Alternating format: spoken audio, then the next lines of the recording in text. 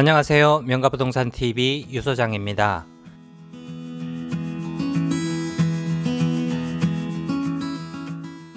농막 관련하여 자주 묻는 질문 중 하나가 임야에 농막을 설치할 수 있느냐입니다.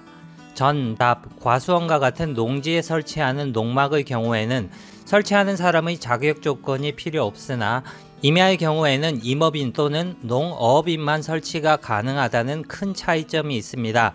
그 자격 조건과 설치 조건 등의 내용을 간략히 살펴보도록 하겠습니다. 첫 번째로 임업인의 경우에는 임업 및 산촌 진흥 촉진에 관한 법률 시행령에 따라 다음과 같은 조건 중 하나에 해당하는 임업인의 자격 조건을 갖추어야 합니다. 첫 번째로 3헥타르 이상의 산림에서 임업을 경영하는 자, 두 번째로 1년 중 90일 이상 임업에 종사하는 자, 세 번째로 임업 경영을 통한 임산물의 연간 판매액이 120만 원 이상인 자, 두 번째로 농업인의 경우에는 관련 법에서 규정하는 농업인의 자격 조건을 갖추고 있어야 합니다. 세 번째로는 설치 지역의 제한 사항입니다. 첫 번째로 임업인이 설치하는 산림 경영 관리사의 경우 산지 전용 일시 사용 제한 지역이 아닌 산지에 설치가 가능합니다.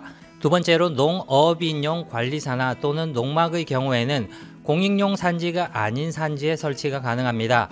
네 번째로 설치 조건, 즉 면적의 경우에는 부지 면적은 200제곱미터 미만, 두 번째로 시설 면적의 경우에는 주거용이 아닌 경우로서 작업대기 및 휴식 공간이 바닥 면적의 100분의 25 이하일 것, 즉 약 15평 이하로 지어야 합니다.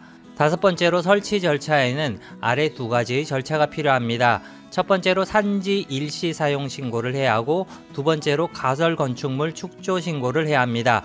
기타 임업인이나 농민의 경우라 해도 산지 일시 사용 신고 시에는 사업 계획서 등 다양한 준비 서류가 필요할 수 있으니 미리 지자체 담당자와 충분히 상담 후 진행을 하시기 바랍니다.